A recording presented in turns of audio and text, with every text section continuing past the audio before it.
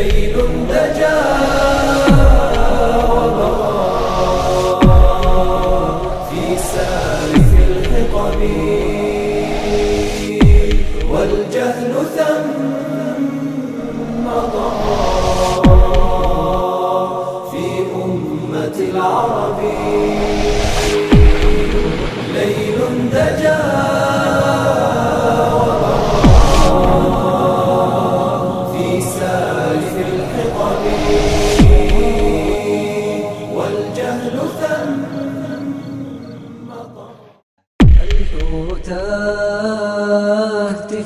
بهجة زف الشهيد زف الشهيد.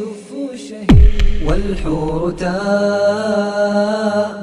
أن تزاف إلى البليد إلى البليد. وجنان عاد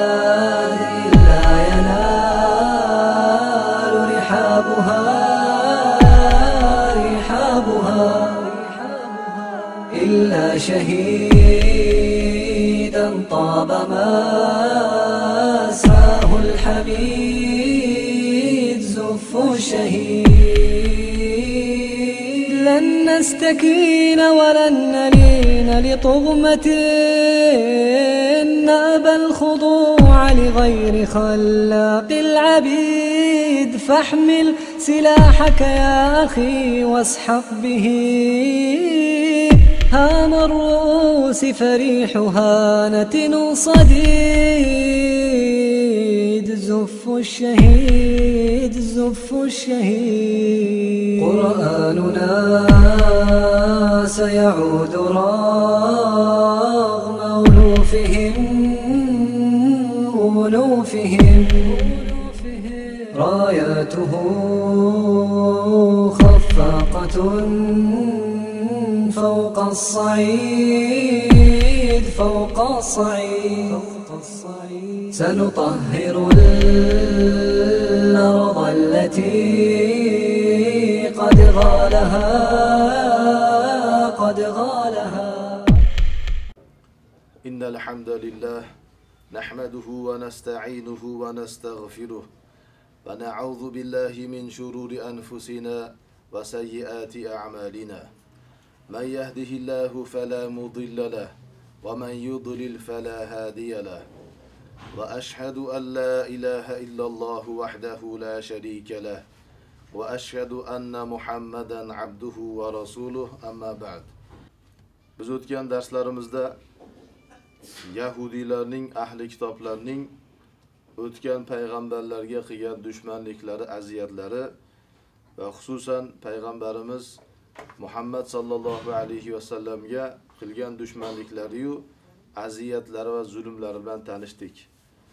Bugungi darsimizda yahudiylarning ahli kitobning bu ummatga qiladigan zararlari islom ummatiga beradigan aziyatlari va muhammad alayhisalomning ummatiga qiladigan zulmlari to'g'risida xabar bergan oyatlar bilan tanishamiz. Albatta bugungi kunda islom ummatining yahudiylar tarafidan qanchalik bir zulm qilinyapti turganligi qanchalik bir aziyat berilyapti turganligi qanchalik bir xorlanyapti turganligini butun insoniyat shohidi bo'lib turibdi. Bu narsa ochiq ko'rinib turgan narsadir. Lekin o'tgan darslarimizda doim aytganimizdek bu narsalar aslida biz uchun yangilik emas. Alloh azza va jalla o'zini kitobida bularning hammasini xabarini bergan edi. Ogohlantirgan edi. Toki ummat mana shu kundagi holatiga tushmaslik uchun alloh subhanahu va taolo bu narsalarni bildirib qo'ygan edi. Lekin musulmonlar mana bu oyatlarni tark qilganliklari uchun bu oyatlarning tafsirlaridan ma'nolaridan hukmlaridan uzoq qolganligi uchun do'sti bilan dushmanni tanimaydigan holatga tushib qoldi. dushmanni do'st deydigan holatga kelib qoldi va do'stini dushman deydigan holatga kelib qoldi oyatlar bilan tanishsak baqara surasi 120 oyatda alloh subhanahu va taolo shunday xabar beryaptiki astaizu billah ولن ترضى عنك اليهود ولا النصارى حتى تتبع ملتهم Yahud va nasroniylar hech qachon sendan rozi bo'lmaydi. Yahud va nasroniylarning payg'ambarimiz Muhammad sallallohu alayhi va sallamdan rozi bo'lmasligi va payg'ambarimiz alayhissalom vositasida u kishiga ergashgan qiyomatgacha keladigan butun mu'minlardan rozi bo'lmasligini Alloh taolo lan degan kalima bilan ta'kidlayapti. Hech qachon hech qachon yahud va nasroniylar rozi bo'lmaydi. Rozi bo'ladigan bir chegarasi bor. U hatta tattabi'a millatahum toki sen ularning millatiga ergashguningga qadar.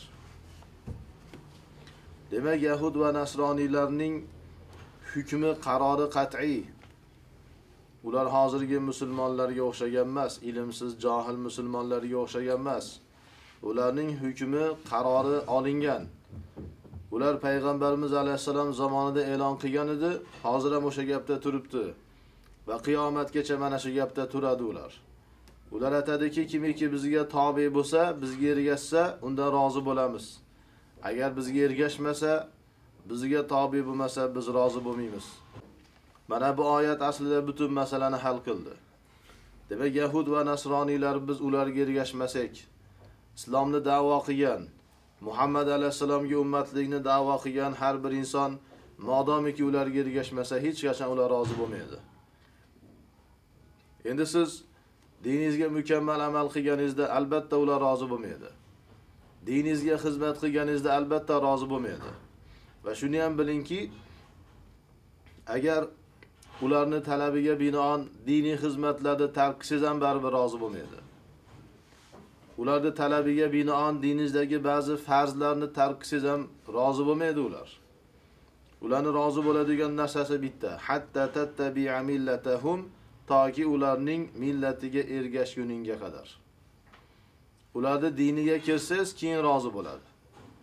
Shuning uchun mana yahudiylar mana bu oyatning mistoqini ko'rsatyapti. Mana islom olamida yahudiylarni o'ldirib turgan ba'zi musulmonlarning holatini ko'rasiz, nihoyatda johil.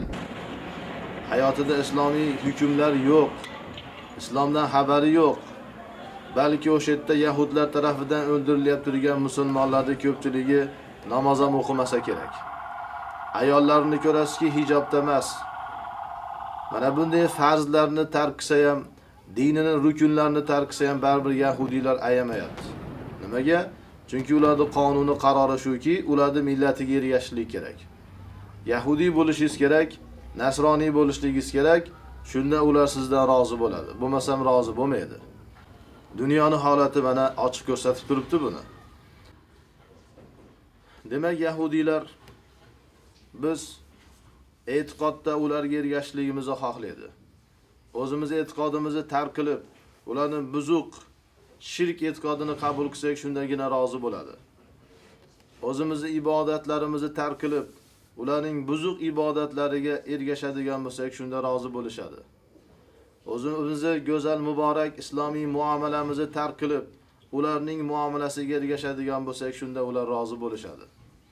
O'zimizni mukammal aziz siyosatimizni, hukumatimizni tark qilib, ularning botil va jirkan siyosatlariga, hukumatlarga ergashsak, shunda rozi bo'ladi ular.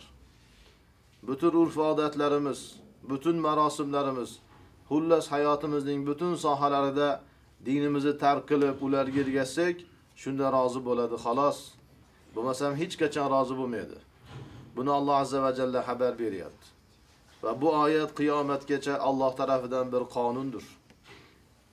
Demak, mana Yahud va nasroniylarning ba'zi musulmonlardan rozilik darajalari bor. Ba'zilardan ozgina rozi, ba'zilardan xursand bo'lyapti, ba'zilaridan ochiqchasiga rozi bo'lyapti. Yahudiylarning rozilik darajasiga qarab turib, ularni rozi bo'lishiga sabab bo'lyapti turgan musulmonlarni yahudiylarga qanchalik yaqinligini bilib olaverasiz. Agar bir inson haqiqiy mu'min bo'lsa, haqiqiy muslim bo'ladigan bo'lsa, dinida sodiq bo'lsa, muxlis bo'lsa, yahudiylar hech qachon uni do'st tutmaydi. Hech qachon undan rozi bo'lmaydi. Yahudiylar musulmonman degan, yoki olimman degan ba'zilardan rozi bo'lyaptimi? Ularni yaxshi ko'ryaptimi? Ikrom qilyaptimi? Hurmat qilyaptimi? Demakki, ularni yahudiylikka yaqin bo'lgan taraflari bor. To'g'ri buni hozircha aytmaydi. Balki aytishyapti ham va aytishyapti. Lekin musulmonlarni shunchalik johil qilishganki, yahudiylar agar bir musulmonga yoki bir musulmonni soxta olimiga o'zini muhabbatini, roziligini e'lon qilsa, musulmonlar hatto maqtanib yurishibdi. Mana biz ustozimiz, bizni shayximiz, bizni imomimizni yahudiylar ham maqtashgan. Yahudiylar ham unga mana maqtov yorliqlari berishgan, mukofotlar berishgan, hadiyalar berishgan, daraja berishgan, mansab berishgan, maqtashgan, gazetalarda, jurnallarda deb maqtanib yurishibdi. Vaholanki mana bu oyat o'sha musulmonni va o'sha olimni yahudiylarga sotilganligini ko'rsatyapti. Qul ayte Muhammad alayhisalom Inna hudallohi huval huda. Albatta Allohning hidoyati o'shadir hidoyat. Haqiqiy hidoyat, haqiqiy haq yo'l Allohning yo'lidir. Allohning yo'lidan boshqa butun yo'llar botildir. Qarang islomning go'zalligini, islom bir muayyan bir shaxsning yo'liga chaqirmaydi. Maxluqning yo'liga chaqirmaydi. Islom Allohning yo'liga chaqiradi. Shuning uchun biz butun insonlarni Allohning yo'liga chaqiramiz. Va shu jumladan yahud va nasroniylarni ham Allohning yo'liga chaqiramiz. Wala in ittaba'ta ahum ba'da allazi ja'aka min al-ilm. Agar senga ilm kelgandan keyin ularning xohishlariga ergashadigan bo'lsang, malaka minallohi min waliyyin wala nasir. Alloh tarafidan senga hech qanday do'st va yordamchi yo'qdir. Qarang Alloh subhanahu va taolo albattaki Muhammad alayhisalomni butun maxluqlarning ichida eng ko'p yaxshi ko'radigan va eng ko'p muhabbat qiladigan zotdir. Alloh subhanahu va taoloning huzurida eng mahbub bo'lgan maxluq Muhammad sallallohu alayhi va sallamdir. Qullarini bandalarini ichida eng yaxshi ko'rgan kishi Muhammad alayhisalomdir. Lekin Muhammad alayhisalomga Alloh taolo qattiq gapiryapti. Senga ilm kelgandan keyin, senga Qur'on kelgandan keyin, islomiy ilmlar, islomiy hukmlar, bu shariatning ilmi kelgandan keyin ularning xohishlariga ergashadigan bo'lsang, ularning qonunlariga ergashadigan bo'lsin ularni hukmlariga ergashadigan bo'lsin ularni siyosatiga, ularni iqtisodiga, ularni marosimlariga, ularni urf-odatlariga, ularning gaplariga ergashadigan bo'lsin senga Alloh tarafidan hech qanday do'st yo'q. Alloh taolo yuz o'giradi sendan. Va Alloh tarafidan senga hech qanday yordamchi yo'q. Alloh subhanahu va taolo hech qachon yordam bermaydi senga. Mana Alloh subhanahu va taoloning nazaridan qolishligini Alloh taolo xabar beryapti. Endi Muhammad alayhisolamga bunchalik jiddiy va qattiq bir hukm, oqibat zikr qilingandan keyin boshqa insonlar bu masalada qo'rqsin, ehtiyot bo'lsin. Yahud va nasroniylarning nafsoniy narsalariga, xohishlariga ergashgan hech kimni Alloh subhanahu va taolo kechirmaydi. Chunki ko'ryapsiz, ular faqatgina insonlar kufriga tushsa, Allohning yo'lini tark qilsa shundagina rozi bo'ladi xolos. Shuning uchun Allohning rizosi bilan yahudiylarning rizosi hech qachon jam bo'lmaydi. Hech kim o'ylamasinki, men ham Allohni rozi qilaman, ham yahudiylarni rozi qilaman deb o'ylamasin. Ham Allohni rozi qilaman, ham Amerikani, Yevropani, Rusiyani rozi qilaman deb o'ylamasin. Bu botil narsadir. Mumkin emas. Eng johil insonni gapirishligi joiz bo'lmaydigan darajada bir jaholatdir. Alloh subhanahu va taolo mana bu oyatda agar ularning havolariga ergashsin, nafsoniy xohishlariga ergashsin deyapti. Albatta ular qandaydir bir siyosatni da'vo qilishadi. Masalan, kommunizmga o'xshagan, demokratiyaga o'xshagan qandaydir qonunlarni da'vo qilishadi va ularni to'g'riligini da'vo qilishadi. Lekin Alloh taolo aytayaptiki, bu nafsoniy xohish xolos, boshqa narsa emas. Bu nafsoniy istaklar xolos, ularning orzu umidlari xolos. Alloh subhanahu va taoloning diniga.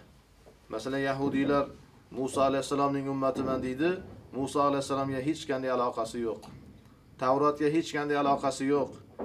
Injilga hech qanday aloqasi yo'q. Albatta Qur'onga ham hech qanday aloqasi yo'q. Ularning nafsoniy narsalari xolos. Qanday qilib aqlli insonlar Allohning yo'lini tark qiladida Yahud va nasroniylarning nafsoniy xohishlariga ergashadi. Bu xorlik, rasvolikdan boshqa narsa emas-ku. Mana Yahud va nasroniylar butun ummatdan kutyab turgan narsasi mana shu. Faqatgina ularga rozi bo'lib, ularga qul bo'lishligini xohlashadi. Va shunga harakat qilishyapti. Mana shu yo'lda bor kuch g'ayratlarini, quvvatlarini ayamayapti ular. Ummatni o'zini yo'liga chaqirishga harakat qilishyapti. Musulmonlarni Yahudi va Nasroniy qilishlikka harakat qilishyapti. Agar qabul qilmasa ayamayapti. Hech narsadan qaytishmayapti. Al-Imron surasi 70, 69 va 70 oyatlarda Alloh subhanahu va taolo xabar beryaptiki: "Vaddat ta'ifatun min ahli kitob law yudillunakum va ma yudilluna illa anfusahum va ma yash'urun." Ahli kitobdan bir toifasi sizlarni adashtirishlikni orzu qilishdi. Qaniydi sizlarni adashtirsak deb xohladi ular. Qarang Alloh subhanahu va taolo aytayapti. Ahli kitobdan bir toifasi sizlarni adashtirmoqchi deyapti. Waddat ularda wuddun bo'lgan narsadir. Bu muhabbatdir. Qalbdagi orzulari, hayotdagi maqsadlari, g'oyalaridir. Aqllardagi orzu umidlaridir. Ular shuni xohlaydi deyapti Alloh taolo. Shuni yaxshi ko'rishadi, shuni orzu qilishadi, sizlarni adashtirmoqchi deyapti. Alloh subhanahu va taolo ular bizni adashtirmoqchi ekanligini, islom ummatini adashtirmoqchi ekanligini aytib tursa-yu, yana musulmonlar ulardan yaxshilik kutsa va ular bizga to'g'ri yo'lni ko'rsatadi, ular bizni adashtirmaydi desa, bu Qur'onga qarshi chiqishlikdir. Allohga qarshi chiqishlik. Yahudilar hech qachon insonlarga haq yo'lni ko'rsatmaydi. Ular hamma sohada adashtirmoqchi bo'ladi. E'tiqodiy masalalarda ham adashtirmoqchi bo'ladi. Ibodatda ham adashtirmoqchi bo'ladi. Muomalada ham adashtirmoqchi bo'ladi. Siyosatda ham, hukumatda ham adashtirmoqchi bo'ladi.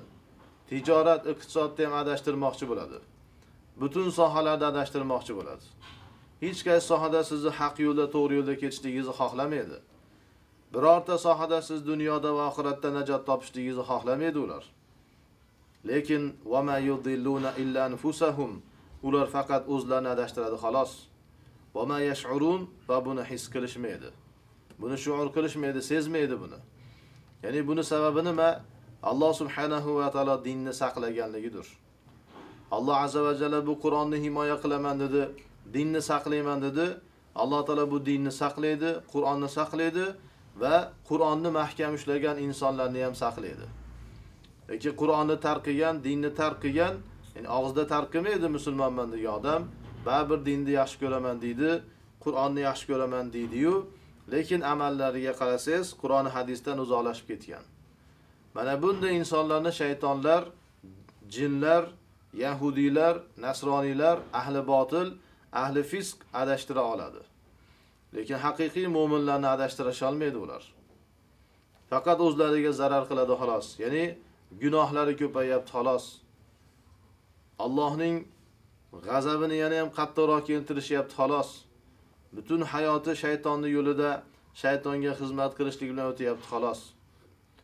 Ya ahlal kitob, lima takfuruna bi ayati Allohi va antum tashhadun? Ey ahli kitob, o sizlar shohid bo'lib turib, guvoh bo'lib turib, nima uchun Allohning oyatlariga kofir bo'lasizlar? Ya'ni Qur'onga nimaga kofir bo'lasizlar sizlar? Qur'onning haqligini bilasizlar-ku. Qarang Qur'onning haqligini bilib turib, dinimizni haqligini bilib turib, shariatimizni haqligini bilib turib, yo'limizni haqligini bilib turib, mana musulmonlarni adashtirmoqchi bo'lyapti. Bilib turib qilyapti buni. Endi biz yo'limizni haqligini bilib turib, bu yo'lga kelmasa, biz endi bu yo'ldan boshqa yo'lga da'vat qilyap turgan bo'lsa, demak juda yaxshi bilishadiki, o'zlarining yo'li botildir. O'zlarining siyosatlari, hukumatlari, tijoratlari, iqtisodlari, e'tiqodlari, ibodatlari hammasi botilligini juda yaxshi bilishadi. Lekin bu narsani yashirishadi. va nihoyatda mahorat bilan hiylabozlik qilishadi, makkorlik qilishadi. Mana Ali Imron surasi 71-oyatda Alloh taolo aytayaptiki: "Ya ahlal kitob, lima talbisuna al-haqqa bil batil?" Ey ahli kitob, ey yahud va nasroniylar, nimaga haqni botilga aralashtirasizlar? Ya'ni nima uchun haqni botil qilib ko'rsatasizlar?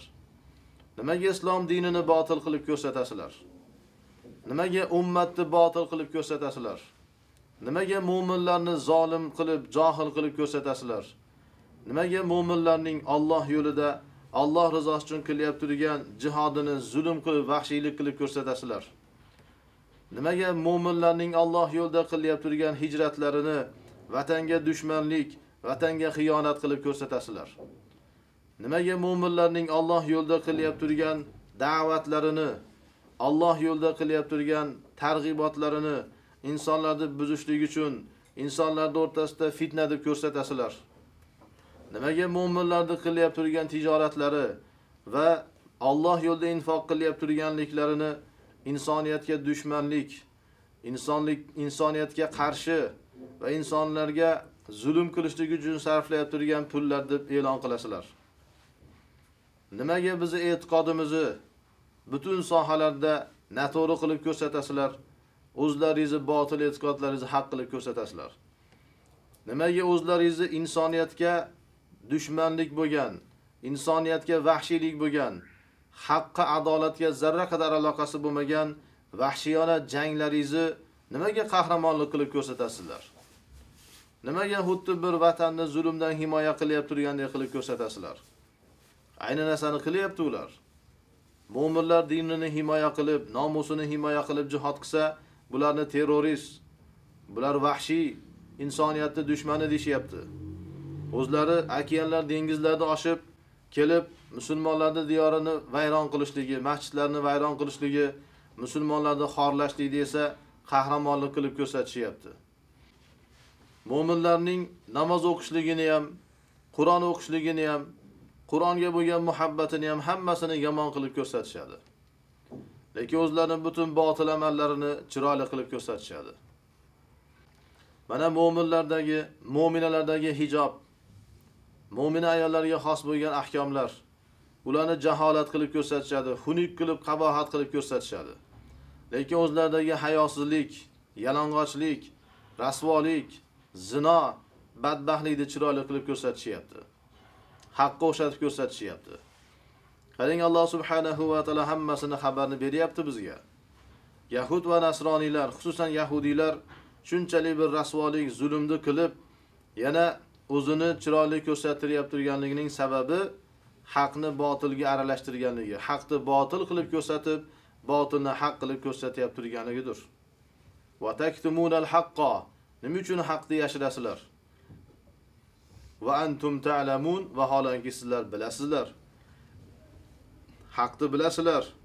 Haqni bilib turib, nimaga haqni yashirasizlar?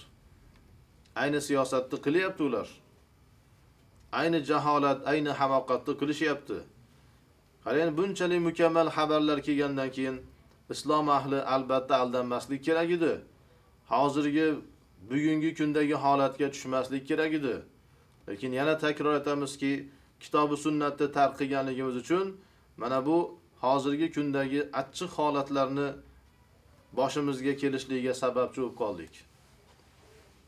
Yana takror aytamizki, hozirgi kunda bo'layotgan turgan butun xorlik, zulm, aziyatlarni shu zahoti to'xtashligini yo'li bor. Bu shu zahoti butun ummatning kitobi sunnatga qaytishligidir. Shu zahoti butun ummat kitobi sunnatga qaytsin, mana bu oyatlarga amal qilsin. Alloh subhanahu va taolo albatta ularni aziz, g'olib qiladi.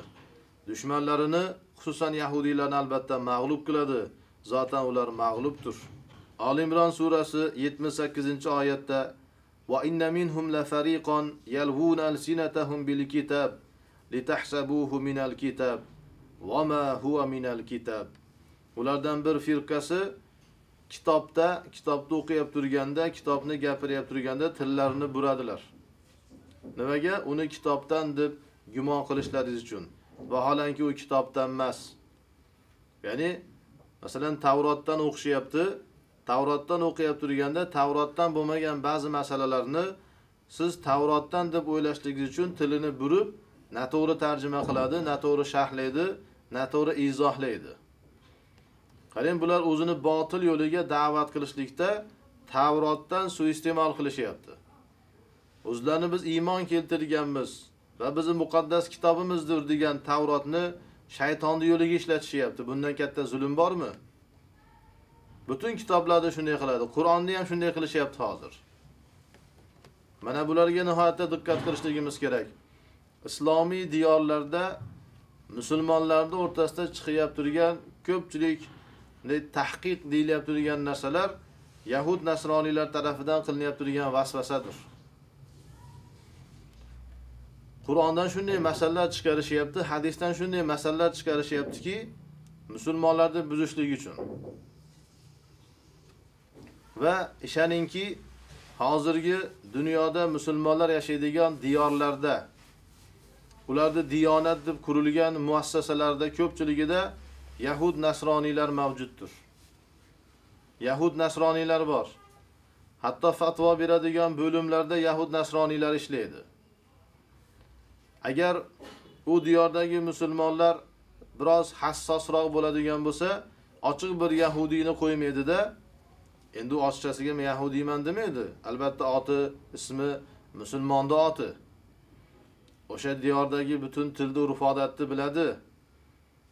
O'zini musulmon qilib ko'rsatadi, lekin yahudiy islomga hech qanday aloqasi yo'q. Islomga dushman. Agar buni insonlar sezib qoladigan bo'lsa, unda musulmonlar ichidan ba'zi xoinlarni sotib olishadi.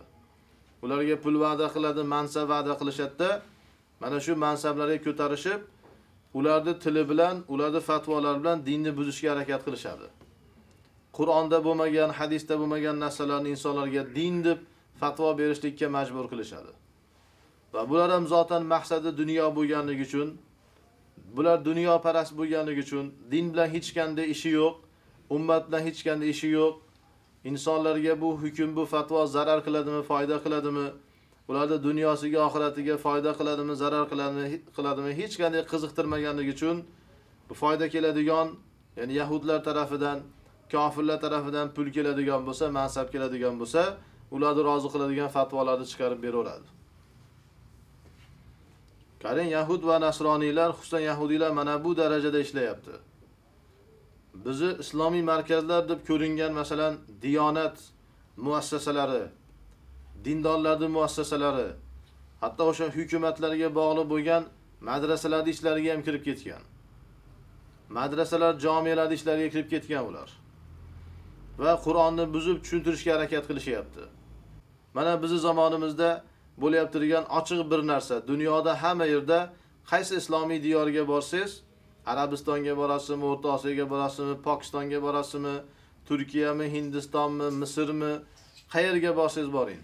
Hamma yerda gapirilyap turgan narsa, qarang, diniy markazlarda gapirilyap turgan, diyonat tarafidan gapirilyap turgan va madrasalarda, jomiyalarda, universitetlarda gapirilyap turgan narsa nima? Dinlar orasidagi dialog. Musulmonlar, yahudiylar va nasroniylarning birlashishligi. Ular ham biz aka ukamiz-ku. Ular ham Ibrohim alayhisalomga iymon keltirgan-ku. Ular ham la ilaha illalloh deydi-ku, deb bahona qilib turib, mana bularga birlashlik. Va bu birlashlik zohirda birlashishlik deyilyapti, aslida musulmonlarni uni ularni yo'liga kelishligidir. Ya'ni musulmonlar ularni yo'liga kelishlik kerak. Ularga itoat qilishlik kerak, ularning qonunlarini, ularning hukmlarini qabul qilishlik kerak. Bu dinlar orasidagi dialog, dinlar orasidagi sulhdan maqsad mana shu. Mana shuni rad qilolmayaptiku rad qilganlarni darro adashganga chiqarib, din dushmaniga chiqarishyaptiku Vaholanki o'zlari din dushmanlari bular. Va qanchadan qancha farzlar inkor qilinyaptiku Musulmonlar yashaydigan diyorlarda islomni ruknini yo'qotadigan fatvolar chiqyapti. Qarang, namozdan man qiladigan fatvolar chiqyapti. Namoz o'qilmasin. Ochiqchasiga namoz farz emas demaydi-da, lekin namoz o'qimasin deydi. Nima degani bu? Namozni farzligiga qarshi chiqishlikdir bu. Mana fatvoni qarang. Buni orqasida yahudiylar bor. To'g'ri, ba'zilar qo'g'irchoq bo'lib turgandir, ba'zilar ahmoq bo'lib turgandir ularning qo'lida. Lekin orqasida yahudiylar bor. Bunday fatvolarga ishonmaslik kerak. Mana ba'zi musulmonlar yashaydigan diyorlarda hijob man qilinyapti. Hijobdan man qilishyapti. Shuni mana diniy markazlar, madrasalardan, islomga ko'ringan ulamolar tomonidan fatvolar chiqyapti, qonunlar chiqyapti. Din dushmanlari yahudiylar ularni sayratib, ularni gapirtirgandan keyin orqasidan keyin bu qonunni tatbiq qilishga boshlayapti. Va johil musulmonlar kitobi sunnatdan xabari bo'lmagan, dinidan xabari bo'lmagan musulmonlar esa mana shu din ekanda, demak endi hijob sarf qilishimiz kerak ekan, endi namoz o'qimasligimiz kerak ekan, universitetda, maktablarda, hukumat idoralarida namoz o'qilmas ekanda, shu ekanda deb mana shuni din deb qabul qilishyapti. Va ko'ryapsizlar mana Xitoyda bo'lyapti turgan narsa bir misol roza tutish kerak Ramazonda rozaga ochiqchasiga jang e'lon qilishdi. Roza tutganlarni qamoqqa tashlashib azob berishib, dushman deb e'lon qilishdi. Va shuningdek boshqa butun ahkomlar, islomiy hukmlar. Qur'on hadisda hijrat to'g'risida nihoyatda dalillar ko'p, lekin uyalmasdan diniy markazlar, shu hukumatlar tomonidan qurilgan qo'g'irchoq bu markazlar hijrat botil, hijrat degan narsa yo'q deyishyapti. Orqasida yahudiylar bor bulardi. Ya o'zi yahudi yoki orqasida yahudiy bor. Jihod to'g'risida qanchadan qancha dalillar bor. Sahobalarning hayoti Madinaga o'tgandan keyin butun hayoti jihodda o'tdi. Payg'ambarimiz alayhisalom qanchadan qancha mana jihodlariga, g'azovatlarga bordilar. Lekin jihodni inkor qilishlik, jihod yo'q degan narsa musulmonman degan insonlar tomonidan chiqarilyapti. Hali Qur'on o'qiyapti o'shalar ham, oyat o'qiyapti, hadis o'qiyapti, lekin hijratni inkor qilishyapti. Oyat hadis o'qiyapti, jihodni inkor qilishyapti. Oyat hadis o'qiyapti, islomiy hukumatni inkor qilishyapti. Islomiy xilofat mumkin emas, islomiy siyosat mumkin emas, islomiy hukumat mumkin emas deyishyapti. Mana bular yo yahudiydir yoki yahudiylarning malaylaridir, boshqa narsa emas bu. Sizlar ularni musulmon deb o'ylamanglar. Sizlar ularni olim deb o'ylamanglar. Ular islomni mo'minlar deb peshvosi deb o'ylamanglar. Yo'q, bular ya yahudiydir yoki yahudiylarning malaylaridir, boshqa narsa emas. Uchinchisi emas. Alloh subhanahu va taolo aytayapti mana ular sizlar kitobdan deb o'ylanglar deb tillarini burib gapirishadi. Vaholanki u kitobdan emas. Masalan, hozirgi misol qilib zikr qilgan narsalarimiz islomga, Qur'onga hech qanday aloqasi yo'q. Islom ma'lum, kim bilmaydi buni? Hijobni farzligini kim bilmaydi? Namozni farzligini kim bilmaydi? Balog'atga yetgandan keyin maktabda bo'lasanmi, institutda bo'lasanmi, bozorda bo'lasanmi, qayerda bo'lsang, namoz o'qishliging kerak. Buni kim bilmaydi? Va hijratni farzligini kim bilmaydi? Payg'ambarimiz alayhisalom hijrat qilganligi, undan keyin qancha hijratlar davom etganligini kim bilmaydi? Jihodni farzligini kim bilmaydi? Mana shu kofirlar islomiy diyorlarni bosib olishdan oldingi bo'lgan vaqtgacha, ya'ni bundan 100 yil oldingacha jihod davom etyapti turdi-ku. Jihod faqatgina sahobalar zamonida bo'lmadi-ku. Nima uchun endi jihod botil bo'ladi? Nima uchun joiz bo'lmaydi? 100 yil oldingacha islomiy hukumat bor edi, islomiy hukumat davom etgan edi. Nimaga endi islomiy hukumat g'oyri mumkin bo'ladi, mahal bo'lib qoladi? Nimaga islomiy xilofat endi botil bo'lib qoladi? Nimaga mumkin emas? Nimaga joiz emas? Qani buni hamma biladi buni. Va yaquluna huwa min indillahi. Bu yahudiylar va yahudiylarga sotilganlar o'zlarini mana bu botil hukmlarni, fatvolarni hammasini Allohning huzuridan deyshadi. Alloh aytayapti buni deydi. Va ma huwa min indillahi. Vaholanki u Allohning huzuridan emas. Va yaquluna alallohi kazib va hum ya'lamun. O'zlari bilib turib Alloh subhanahu va taologa yolg'onni nisbat berishadi. Bu yolg'on narsalarni Alloh taologa nisbat berishadi. Alloh subhanahu va taolo bunday degani yo'q va demaydi ham. Qiyomatgacha din o'zgarmaydigan va buzilmaydigan, saqlanib qoladigan muqaddas dindir. Alloh subhanahu va taolo din dushmanlari qanchalik harakat qilsa ham baribir bu dinni saqlaydi. Mana bu o'qigan oyatlarimizda Yahud va nasroniylar, xususan yahudiylarning mana islom ahlini ummatni dindan chiqarishlikka qilyapti turgan harakatlari o'zlarini botil diniga chiqarib kirgizishga qilyapti turgan harakatlari islom ahlini aqidasini buzishlikka qilyapti turgan harakatlari zikr qilindi. Va dinimiz ahkomlarini dinimizni qonunlarini buzishlikka harakat qilganliklari bilindi. Mana ko'ryapsiz farz bo'lgan narsalar hamma bilgan narsalarni ham bemalol buzishga harakat qilyapti. Lekin ming afsuslar bo'lsin. Ming afsuslar bo'lsinki musulmonlar mana qur'oni hadisdan shu darajada uzoq qolganki shuni ko'rib sabr qilib o'tirishibdi. Chidab o'tirishibdi. Aytmayaptiki agar namozdan man qilinsak hijobdan man qilinsak boshqa nima qoldi endi bizga? Hayotda nima ma'nosi qoldi? Hayotda nima foydasi qoldi? Dinimizdan nima qoldi? Deydigan odamlar topilmayapti. Juda kam topilyapti. endi hozir yahud va nasroniylarni mana bu botil yo'lini qabul qilmagan botil qonunlarni qabul qilmagan botil hukmlarni fatvolarni qabul qilmaganlarga qilyap turgan zulmlari va aziyatlari vahshiyliklari to'g'risidagi oyat bilan tanishamiz baqara surasi 49 oyat وإذ نجيناكم من آل فرعون يسومونكم سوء العذاب يذبحون أبناءكم ويستحيون نساءكم وفي ذلكم بلاء من ربكم عظيم eslang o'shanda biz sizlarni fir'avnning oilasidan saqladik najot berdik qarang albatta bu oyat yahudlarga xitob qilyapti bani isroilga yahud va nasroniylarga xitob qilyapti ey yahud va nasroniylar ey bani isroil eslanglar sizlarni fir'avndan biz qutqardik. Fir'avn sizlarga zulm qilar edi. Yasumunakum su'al azab. Juda yomon azob bilan sizlarni xorlar edi.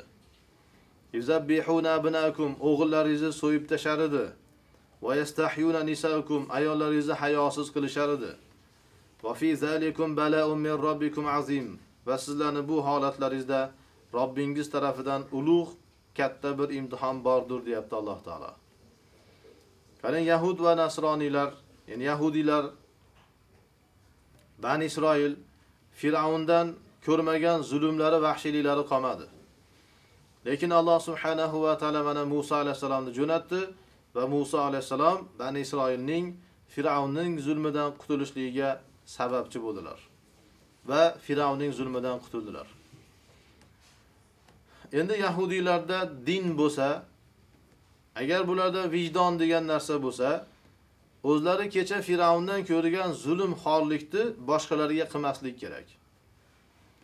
Modomiki Alloh taolo ularga imkoniyat berdimi, kuch-quvvat berdimi, bu rasvolikni qilmaslik kerak. Lekin kecha o'zlari ezilib, Allohga yolvorib, yalinib yig'lagan holatlarini unutishib, Fir'avndan, kofirlardan, mushriklardan, Allohning dushmanlaridan, Allohni ochishasiga inkor qiladiganlardan ko'rgan zulmlarini endi hozirgi vaqtda islom ahliga qilishligi mutlaqo yarashmaydigan narsadir.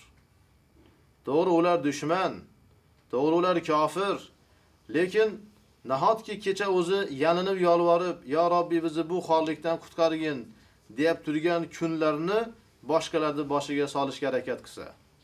Bir avom bo'lgan, johil bo'lgan inson aytadiki, men ko'rgan bu qiyin kunlarni, og'irlikni dushmanim ham ko'rmasin deydi. Qarang. Bu dinga aloqali emas, hatto insoniyatga tegishli bo'lgan narsadir. Vijdoni bo'lgan, insoniyati bo'lgan inson aytadiki, men ko'rgan xorlik, qiyinchilikni dushmanim ham ko'rmasin deydi. Mana islomda sahobalar kitobi sunnatni mahkam ushlaganligi uchun Alloh taolo izzat nasib qildi, butun dunyoga hokim bo'ldilar.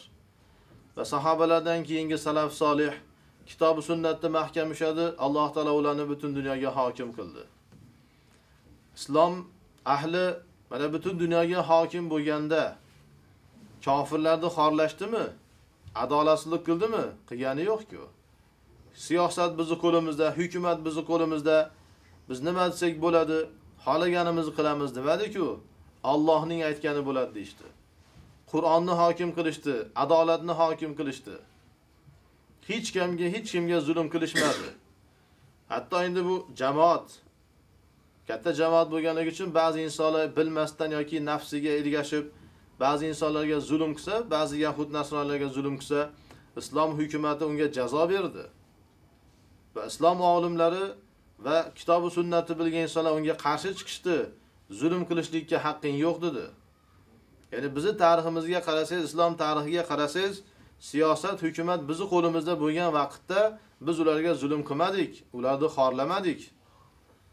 Lekin ular qo'liga biroz imkoniyat kelishligi bilan musulmonlarni xorlashlikka harakat qilyapti. Firavundan qanday zulm ko'rishgan bo'lsa, Firavundan qanday bir xorlik, rasvolikni ko'rgan bo'lsa, hammasini yodlab olishibdi va shuni tatbiq qilishyapti. Qani endi bularni o'zini e'tiboridan qarasangiz, qani ularni dindorligi? Bizga ko'raki ularda hech qanday dini yo'q, ularda kofirligi aniq.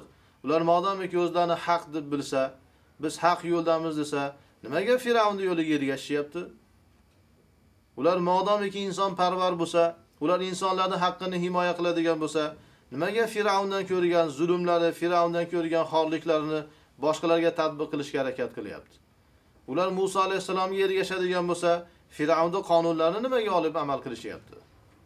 Ular Tavrotga amal qiladigan bo'lsa, Musa alayhisalomning yo'ldan ketadigan bo'lsa, nimaga Firavunning qonunlarini o'zlariga qonun qilishyapti? Nimaga Firavunning yo'ldan ketishyapti? Mana Firavunning yo'ldan ketyapti ular. Ular ham islomga xilof qilishyapti, ham insoniyatga, ham o'zini tarixiga xiyonat qilyapti. Kecha ularga zulm qilgan, ularni xorlagan, ularni ezgan, ularga vahshilik qilgan Firavunning qonunlarini tatbiq qilishga harakat qilishyapti. Mana shumi insoniyat? Mana shumi vijdon? Firavunning ayni ishlarini imkonlari yetgan butun mintaqalarda qilishyapti, hammaga qilishyapti. Ayni Firavun ularni qanday xorlagan bo'lsa, musulmonlarni xorlashlikka harakat qilyapti. Hamma sohada xorlashlikka harakat qilyapti. Hamma taraflama. Hamma taraflama xorlayapti. Eng xor holatga tushirishga harakat qilishyapti. Musulmonlarni xorlab tashashyapti. Musulmonlarni hozirgi islom olamini holatiga qarasangiz, ma'lum eng past, eng jirkanch, eng qiyin, ya'ni inson tahammul qilolmaydigan narsalarni musulmonlar ustiga qo'yib qo'yishgan, musulmonlarga qildirishadi. Lekin bizda islomda nima deyilar edi? Islomda hadis aytadiki, bir qulingizga bir ish buyursangiz, uni kuchi yetmaydigan ishda buyurmang deydi. Sal qiyinmi yordamlashing deydi. Sahobalar o'zini qullariga qani o'sha qul kecha kofir edi, uni qarshisida jang qilyapti turuvdi Bugun asir oldi, qul qildi. shunga og'irroq ish buyursa, yonida o'zlari yordamchi bo'lishardi. Taom yesa, taqirib, chaqirib birga taom yeyishar edi. Va Abu Zarga o'xshagan ba'zi nihoyatda taqvoli sahobalar nima kiyim kiysa, shu kiyimni o'zlarini qullariga kiydirishar edi. Mana islomda adolati. Biz qo'limizga izzat kelganda, hukumat kelganda biz ularni xorlamadik. Biz ularni insonligini esdan chiqarmadik biz. Ularni kofir dedik, lekin insonlik haqqini berdik, zulm qilmadik ularga. Adolat qildik. Yeganimizdan yedirdik, kiyganimizdan kiydirdik. Og'ir ish bo'lsa yordam berdik. Ammo hozir kofirlarni qarang. Yahudlar nima qilyapti musulmonlarga? Shunda ishlatishyaptiki, shunday siqib tashlashyapti musulmonlarni. Siqib suvini chiqarib tashlayapti. Bir umr ishlaysiz, quldek hayotingizga qaraysizki hayotda bir lazzat yo'q. Hayotingizda bir go'zallik yo'q. Hayotingizda bir rohat yo'q. Bir ibodat qila olmaysiz, diningizga xizmat qila olmaysiz, bir yayray olmaysiz. Xotiningiz bilan bir gaplashib o'tirgani vaqtingiz yo'q, bolalaringizni tarbiya qilgani vaqtingiz yo'q. Mana bunday xorlab tashlashyaptiku eng past ishlar, eng xorlaydigan ishlarni berishib, maoshni qarasangiz, maosh ham hech qanday arzimaydigan maoshlar. Hech narsani e'tiborga olishmaydi. Shu quldek ishlatyapti turgan bu nizomlarni tagida namoz o'qiyman desangiz izn bermaydi. Sigaret chekaman desangiz, aroq ichaman desangiz, zino qilaman desangiz izn bor, yo'l beradi. Vaqtida yelkangizga uradi, yasha deydi. Ammo namoz o'qiyman desangiz izn yo'q. Jumaga boraman desangiz izni yo'q. Ularning muassasalarida ayollar hijob bilan boraman desa, qani hozirgi vaqtda butun tashkilotlar, fabrikalar, zavodlarni shunday rasvo qilib tashashdi bular. Hijobli ayollar olinmaydi. Soqolli erkaklar ishga olinmaydi. Davlat idoralarida, ya'ni bu rasmiy idoralarda hijobli ayollar bo'lishi mumkin emas. Soqollilar kirishi mumkin emas. Ya'ni insonlar ichiga singdirib tashadi bu narsani. va bunda ijtimoiy yerlarda Qur'on qo'yib eshitishlik, dars eshitishlik mumkin emas. Musiqa eshiting, qanchalik rasvo bo'lsa eshiting, lekin diniy narsalarga izini yo'q, islomiy narsalarga izini yo'q. Qarang, xorlashni qarang. Hamma taraflama ezib xorlab tashlayapti. Endi qamoqxonalarda bo'layap turgan azoblarni qo'yaverasiz. O'rta Osiyoda bo'layap turgan azoblar, Misrda bo'layap turgan azoblar, Pokistonda bo'layap turgan, Suriyada bo'layap turgan, hatto Saudiyada bo'layap turgan qamoqxonadagi azoblar Yevropadagilarda tushiga ham kirmaydi. Yevropada, Amerikada, Rossiyada bo'lishi mumkin emas. Kofirlarning o'rtasida bo'lishi mumkin emas. Lekin musulmonlarga musulmonlarda diyorlarda shunday bir qamoqxonalar qurilib, shunday azoblar berilyaptiki, bu yahud nasroniylar o'zlari ham hayron qolyapti. Nihoyatda xorlab tashlashyapti. Islom ahlining hech qanday qadr qiymati yo'q.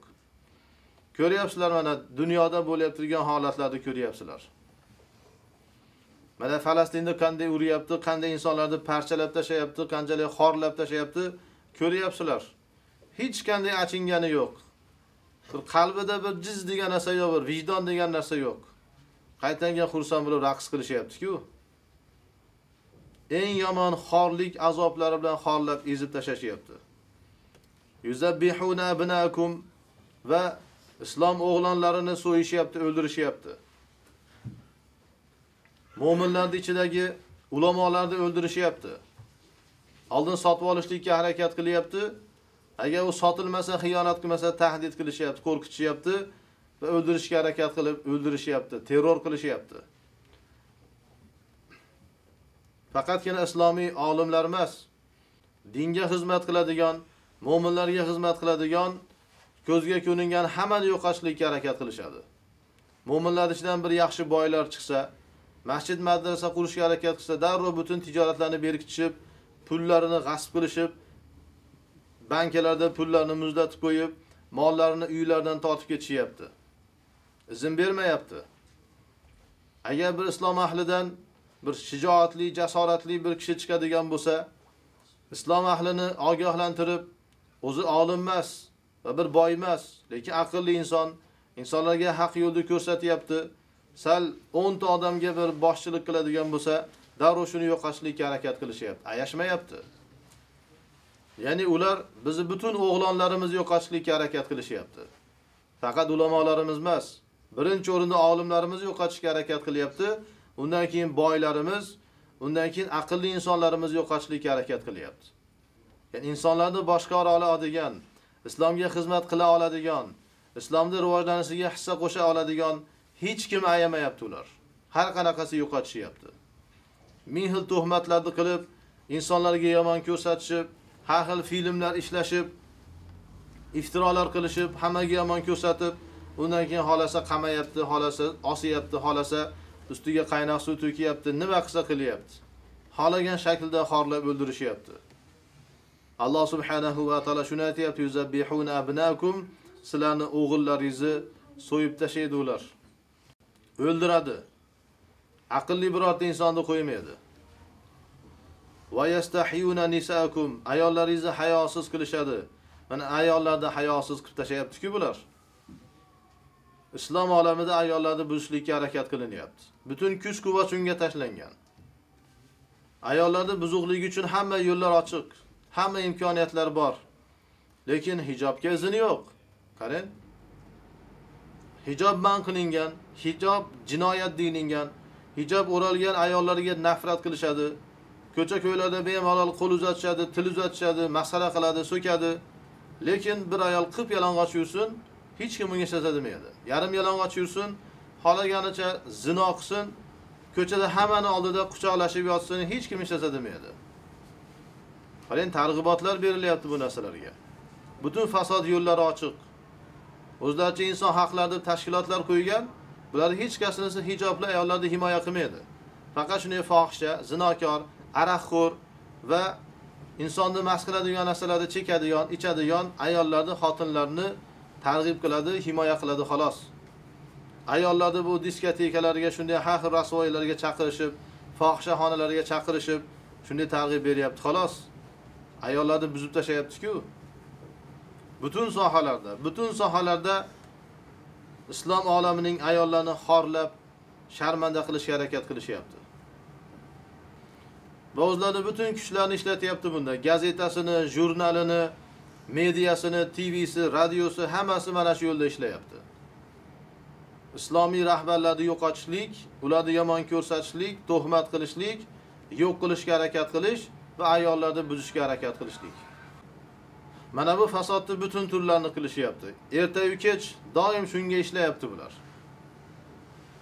bu narsadan to'xtatishga harakat qilsangiz islomni himoya qilsangiz muslimalarni himoya qilsangiz hijobni himoya qilsangiz sizga ming xil tuhmatlarni qilishyapti.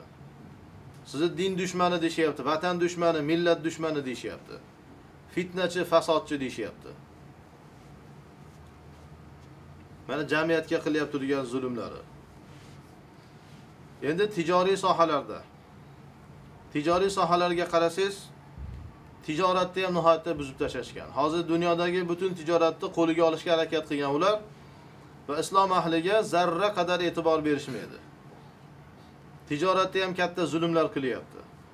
Lekin yana sodda johil musulmonlar uyalmasdan bilmagan holatda yahudlarni tijoratini maqtashadi. Lekin xabari yo'qki yahudiylar tijoratda qanchalik bir xiyonat qilyapti turganligi zulm qilyapti turganidan xabari yo'q.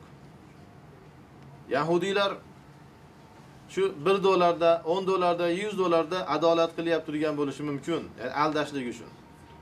Lekin o'n ming dollarda million dollarda sizni teringizni shilib olyapti undan xabaringiz yo'q. Bir dollar o'n dollar bilan aldayapti lekin million dollar milliard dollar masalasiga kelganda hech ayamayapti sizni. Islom olamini tijoratini iqtisodini sindirib tashlashyapti ezib tashlashyapti. Ali imron surasi 75 oyatda alloh taolo aytadiki va min ahlil kitabi man in ta'manhu bi qintarin yuaddihi ilayk. Ahli kitobni ichida shunday insonlar borki agar unga juda katta bir molni omonat qilib bersang senga ado qiladi beradi. Shundaylari ham bor. Ya'ni hammasi yuzga yuz. Bunday demaymiz ishlarida yaxshilari ham bor. Lekin ular juda oz.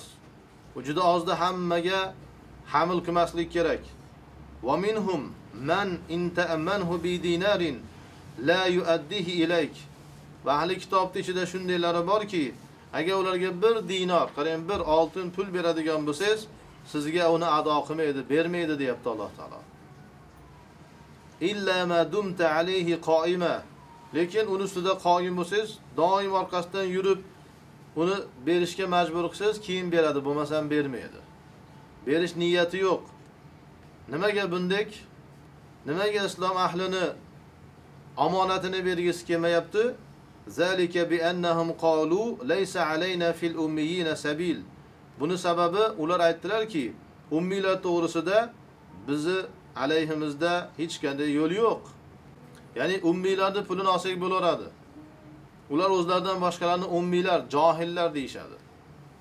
Ya'ni islom ahlini eng johil insonlar deb bilishadi. Biladi yolg'onchiligini yolg'on gapiryapti. Islom ahli ilm ma'rifat ahlidir. Lekin kibr qilishib haqorat qilishib islom ahlini johillar deyishadi.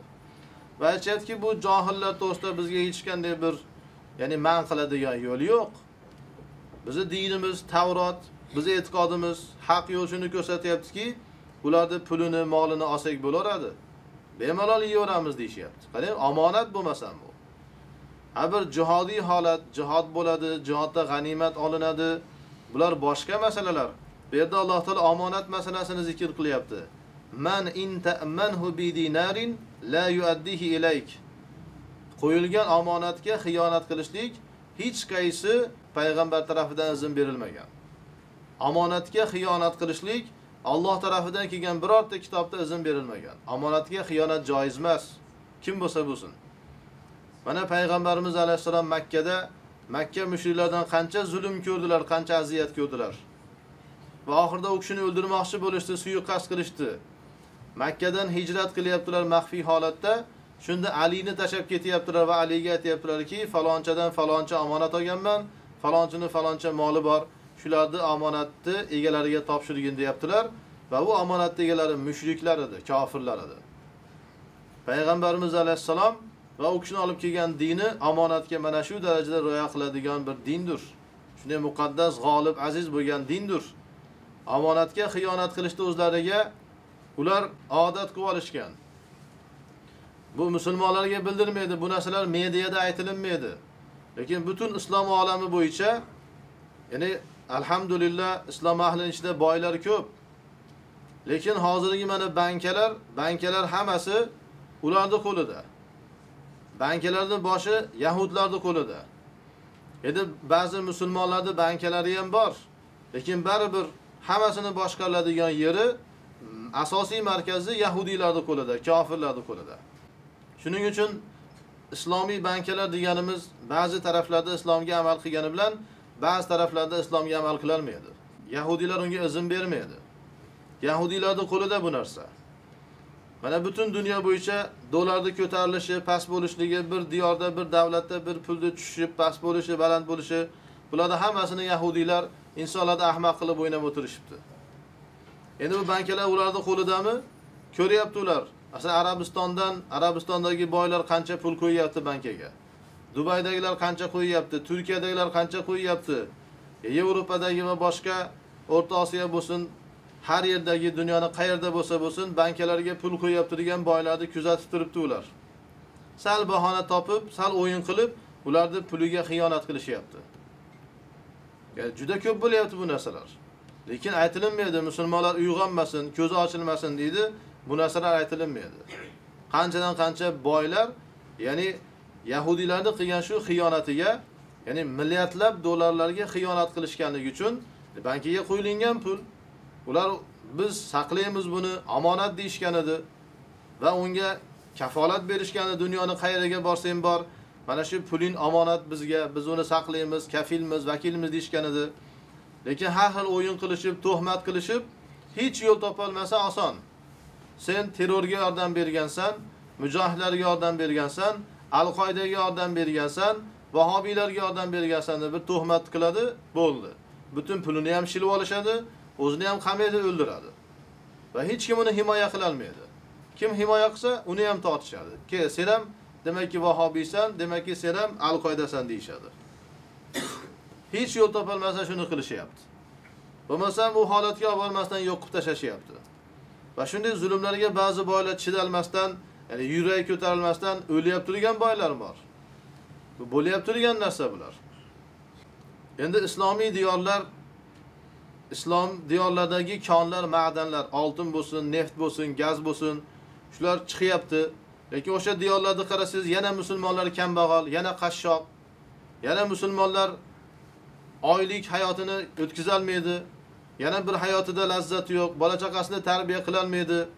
Bir go'zal bir hayot yashalmaydi, imkoniyati yo'q. Nimaga? Bu ma'danlar, konlar hammasi ular tarafga ketyapti. Xiyonat qilishyapti. Ha bularning mulki edi-ku, desiz, aytadiki, "Laysa alayna fil ummiyina sabil."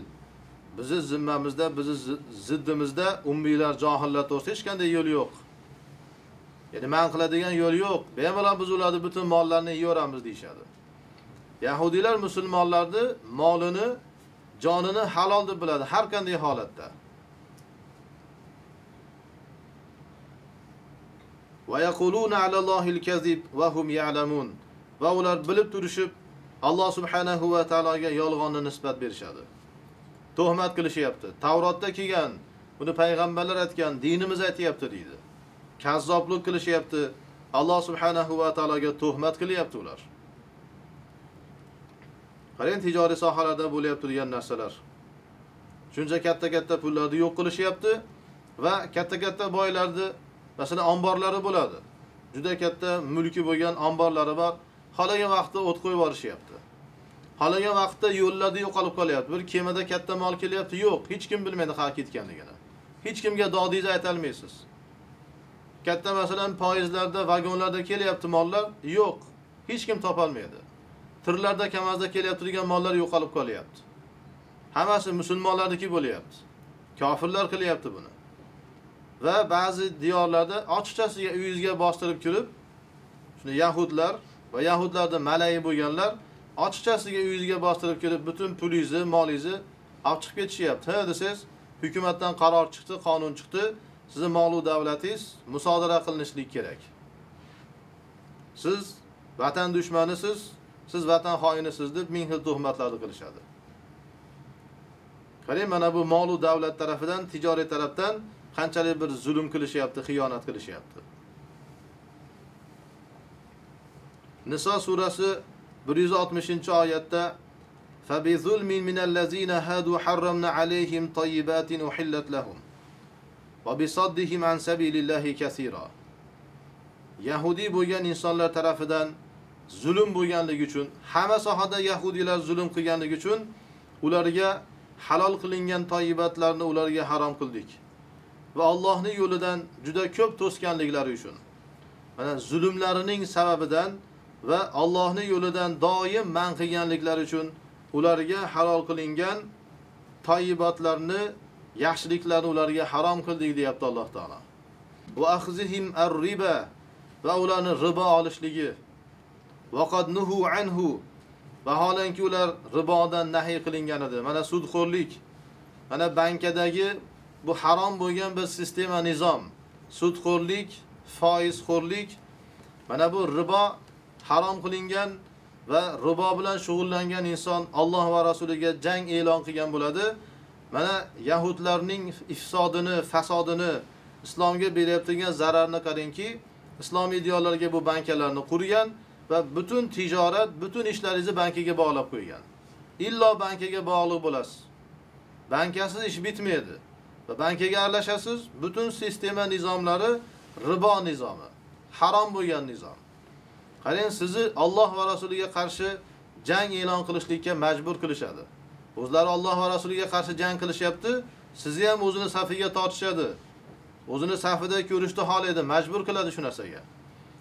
Agar siz bu narsalardan taqvo qilaman, ehtiyot qilaman desangiz, hech qanday ish qila olmaysiz. Bir tijorat qila olmaysiz, do'kon ocha olmaysiz, ish qila olmaysiz. Faqat shu qora ish qilishligingiz kerak. Ko'cha tozala, g'isht toshi, qum toshi, loy toshi, boshqa gapi yo'q.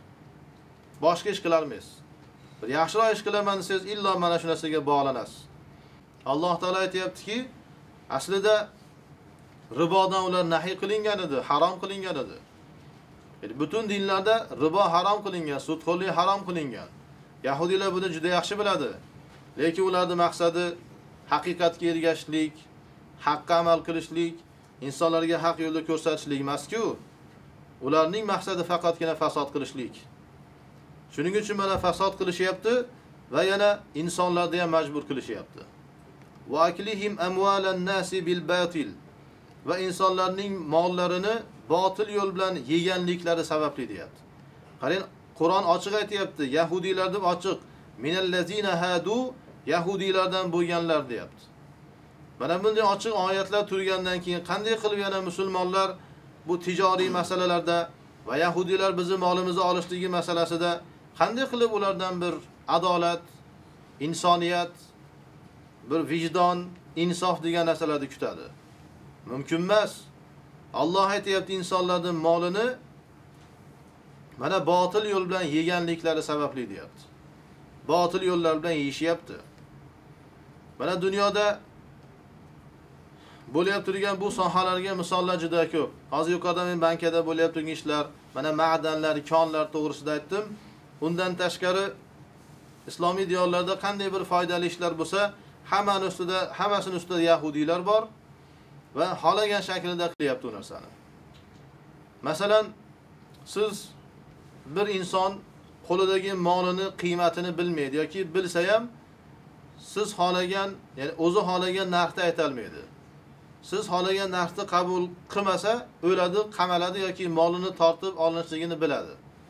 Unday holatda uni molini 10 dollarga olib yoki 100 dollarga olib, siz boshqa yerga 10 ming dollarga sotishligingiz harom, buni hamma biladi. Yahudiylar mana shunday tijoratlarni ham qilishyapti. Musulmonlarning qo'lidan yaxshi mollarini juda arzonga olishadi. Uzoqqa bormasdan yoki o'sha diyorda o'zida sal bir qayta ishlaydida, sal bir qayta ishlab turib, juda katta narxlarda sotishyapti. Qarang. Musulmonlar ishlaymansa bir ish yo'q, tijorat qilamansiz tijorat yo'q. Lekin bular mana bunday katta foydalarni qilishyapti. Bilishadi molni qiymat baholigini, lekin musulmonlar gapira olmaydi buni. va boshqaga sotishga ham haqqingiz yo'q. Hamma taraflama mudohala qiladi, aralashadi.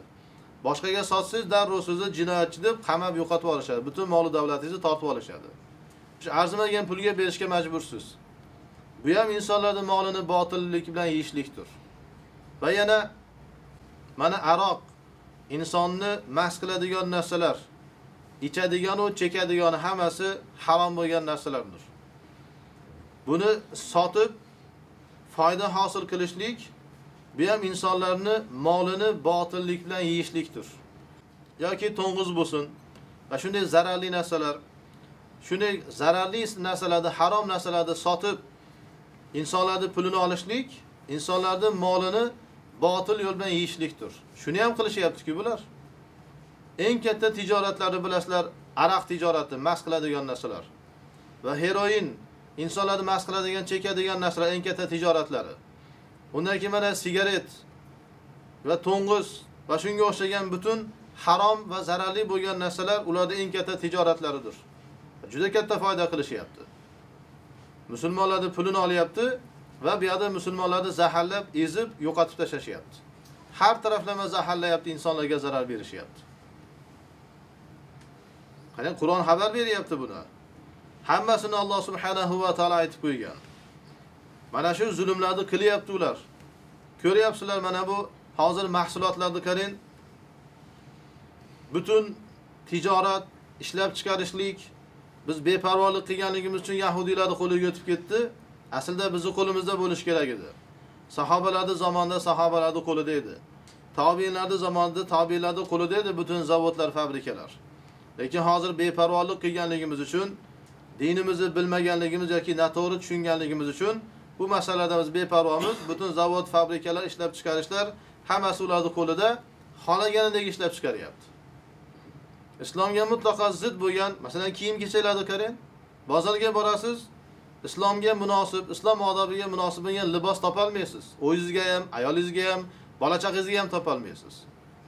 Boshqa diyorlarni qo'ying. Men birinchi marta makkaga borganimda uyga shunday dars olaman dedim. Do'konlarda aylanyapman hayron qilyapman do'konlarda aylanib. Do'konlardagi liboslar hammasi yevropani amerikani liboslari. Hayron qolasiz. O'nta masalan do'kon bo'lsa to'qqiztasi shunday shaytoniy liboslar bilan to'la bir kichkina bir do'kon bor o'ninchisi o'sha yerda islomiy liboslar bor. Boshqa diyorlarni qo'yavering endi. Makkani madinani ham fasod qilib tashlashdi. Bularni qo'lida bo'lganligi uchun. Mana rasm harom qilingan butun mahsulotga rasm yopishtirishadi illoki. Yeydigan mahsulotmi kiyadigan mahsulotmi yoki bir nazofat mahsulotimi hammasiga rasm qo'yishyapti. Nimaga? Chunki rasm bo'lsa farishta bo'lmaydi. Farishtalar qochadi rasm kirgan uyga. Undan keyin jinlar keladi shaytonlar keladi. Undan keyin kasofat balo qazolarni musibatlarni qo'yavering. Shuni qasddan qilishyapti ular. Mana hozirgi musulmonlarga rasm harom deyapsiz harajda qolishyapti.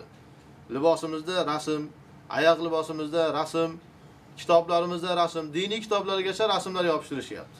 Sovunga qarasangiz rasm shampunga qarasangiz rasm hamma yo'q rasm bo'lib ketgan. Hayron qolasiz kichkina arzimagan narsalarga qarasam rasm qo'yilgan mana ularni qo'liga berib qo'ydik mana rasvo qilib tashlashdi hamma tarafda. Yeydigan oziq mahsulotlarni qarang do'konga chiqasiz ya'ni islom odobiga ko'ra bir mahsulot topolmaysiz. Halol bo'lgan toyib bo'lgan narsa topolmaysiz. Butun mahsulotlarni aralashtirib tashlashdi. Yog'ni tarkibiga tarkibiga qarasangiz mana ovqat qilinishlikda ishlatiladigan yog' tarkibiga qarasangiz illoki insonga zarar qiladigan yoki harom bo'lgan narsalar bor. Nonni qarasangiz illoki bor.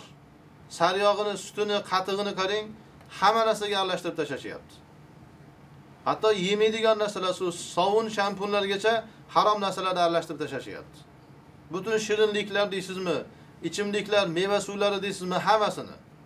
Hech narsani qo'ymadiku bular. Hamma yo'l rasvo qilib tashladiku. Mana qarang bularni islomga islom ummatiga qilyap turgan jangini qarang hech ayamayapti-ku. va hozirgi mana musulmon bo'lmagan professorlar ham aytayaptiki, hozir do'konlarda sotilib turgan mahsulotlar hammasi insonlarga zararli. Bir yosh bolangiz shu 5 yoshdagi 6 yoshdagi bolangiz kasal bo'lsa doktorga olib borsangiz birinchi qiladigan tavsiya shuki do'konga jo'natma do'kondan narsa olib bermagin deydi. Birinchi qiladigan tavsiyasi shu. Do'kondagi narsalarni yeb kasal bo'lyapti bu deydi. Qarang zahar hammasi zahar bo'lib ketdi. Ham pulimiz olyapti ham zahar yediryapti bizga. Alloh subhanahu va taolo saqlayman deganligi uchun saqlayapti va alloh taolo insonni shunday bir mukammal bir maxluq qilib yaratibdiki qara shuncha zahar yesak ham yashab yuribmiz. Ertaga kech zahar yediradi bizga. Zahar bilan yuvinamiz zahar bilan butun kiyadigan narsalarimizga ham zahar qo'yib tashlashgan lekin yana yashab yuribmiz alhamdulillah. Alloh saqlayapti. Insonda alloh taolo shunday bir baquvvat qilib yaratgan ekan. Shuning uchun ba'zi hadislarda keladi insonlar tog'dan ham bardoshli mustahkam deb hozir insonlarga musulmonlarga qilinayotgan bu hujumlar tog'larga qilinsa tog'lar allaqachon bu changi do'zonga aylanib ketgan bo'lar edi. Nomu nishon qolmagan bo'lar edi. Mana bular hammasi jang bular. Bilishadiki biz harom yeydigan bo'lsak allohni g'azabiga qolamiz allohni la'natiga qolamiz duoyimiz qabul bo'lmaydi ibodatimiz qabul bo'lmaydi va ularga o'tishligimiz oson bo'ladi. Haq bilan botilni taniy olmay qolamiz. Haqni qabul qilgisi kelmay qoladi. Botilga mayilli bo'lib qolasiz. Mana hamma yo'lni rasvo qilib tashlashyapti va a'tadna lil kafirina minhum azaban alima va ulardan kofirlarga biz alamli azoblarni tayyorlab qo'ydik deyapti Alloh subhanahu va taolo. Ya'ni ehtiyot bo'lishligimiz kerak. Biz endi nima qilamiz? Majburimiz, shularga ergashib ketaveramiz deb demasligimiz kerak. O'zimiz qilishimiz kerak. Qo'limizdan keladi. Biz hech kimga muhtoj emasmiz alhamdulillah. Ya'ni biz ham shu narsalarga bir necha bor harakat qildik. Lekin bu ijtimoiy narsa bular. Masalan, bir davrlar yana bir misol qilaman. Ko'chadagi go'shtlar to'g'risida har xil ixtiloflar bo'ldi. Ko'pchiligini tekshirdikki, ko'chalarda sotilyapti turgan, do'konlarda sotilyapti turgan go'shtlar yoki halol emas, harom yoki islom odoblariga xilof, illoki bir karohiyati bor. yoki insonga zarar qiladigan, tibbiy tarafdan zarar qiladigan narsa. Keyin biz atrofdagi insonlarga aytdik, bularni yemanglar, shar'an joiz emas. Ha, o'zimiz so'yib yeylik o'zimiz, qo'limizda so'yaylik. Albatta insonlar aytdiki, biz ertadan kechgacha quldek ishlasak. Qachon bizning vaqtimiz bo'ladi? Bor, tirik tovuqlarni bozori ham yo'qolib ketgan hozir. Uni top, apke, so'y, vaqtimiz yo'q. So'yamanda uxlab qolamiz biz deydi. Pishog'imiz qo'limizda.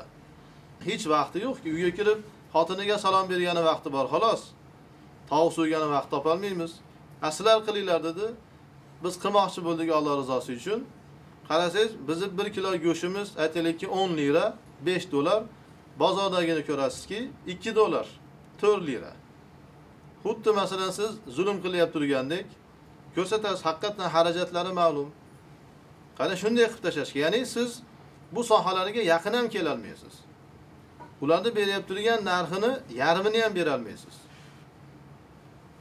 Va ular chiqarib turgan mahsulotlarini, hozir masalan kalbasa bo'lsin, sariyog' bo'lsin, boshqa boshqa narsalar bu narsalarni siz chiqarishingiz mumkin emas bo'lib qolgan.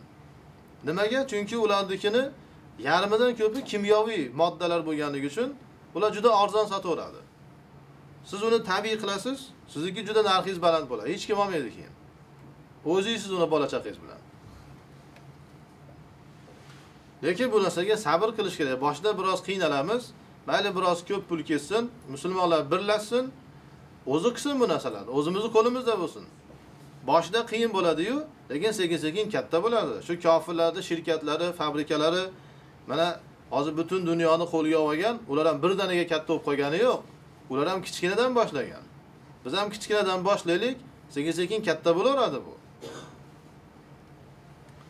Arzon zaharni nima qilasiz? Undan ko'ra qiymat halol bo'lsin.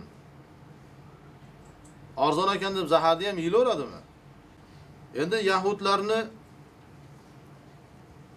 bizga qilyapti turgan muomalalari va boshqa kofirlarga qilyapti turgan muomalalariga qarang. Aslida yahudlar masalan bizga dushmanmi? Bizga dushman. Endi majusiylar, masalan Xitoy, Hindiston, butparastlarga, kofirlarga ham dushman. Ularni dushmanligi ularga qattiqroq bo'lishi kerak. Chunki xitoydagi mana butparastlar hindistondagi butparastlar majusiylar kommunistlar ular ollohni inkor qiladigan insonlar payg'ambarlarni inkor qiladi qiyomatni inkor qiladigan kofirlardir. Ularga qattiqroq dushman bo'lishlik kerak. Ya'ni ba'zi sohalarda bizni tarafimizni olishlik kerak. Lekin unday emas. Bizga dushmanlikda shunchalik bir insofsizki ularni bizdan afzal deb bilishadi. Mana bu darajada dushmanlik qilishadi. Ummatga shu darajada zulm qilishyapti. Agar islom ahliga shu hindiston xitoy yoki shunaqa kommunistlar zulm qilyapti turgan bo'lsa o'ldiryapti turgan bo'lsa yahudiylar borib qo'llab quvvatlaydi ularni. Alloh subhanahu va taolo niso surasi 51 oyatda aytyaptiki alam taro ilallazina utu nasiba minal kitab? Kitobdan nasiba keltirilgan kishilarni ko'rmadingmi? deyapti. Qarang ko'rmadingmi? Ko'rmadilarizmi ey musulmonlar? Ya'ni ko'ringlar deyapti alloh taolo. Bu ahli kitoblarda ko'ringlar yu'minuna bil jibti va tog'ut. Jibtun ya'ni shirk degani. Shirkka va tog'utga iymon keltirishadi. Shirk va tog'ut ikkalasini ma'nosi juda keng. Ba'zilar jibtunni butlar deyishadi tafsirlarda ba'zilar sehr deydi mutlaq shirk deydi tog'utni esa shayton deydi. Lekin buni bizni zamonimizda oladigan bo'lsangiz jibtun o'sha folchilik sehrgarlar butlar butun shirk amallar butun shirk amallariga iymon keltiradi bular. Ishonishadi qabul qilishaveradi. Tog'utga mana bu tog'ut hukumatlar siyosatlar ham kiradi. Shayton birinchi o'rinda kiradi va tog'ut tog'ut kim? Insonlarni o'zini ibodatiga chaqiryapti turganlar. Shularni qo'llab quvvatlaydi iymon keltiradi deyapti alloh taolo.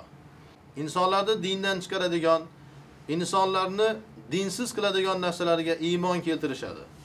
Shuning uchun yahudiylar kommunizmni qo'llab quvvatladi kommunizmni chiqargan rivojlantirgan qo'llab quvvatlagan yahudiylar bo'ladi.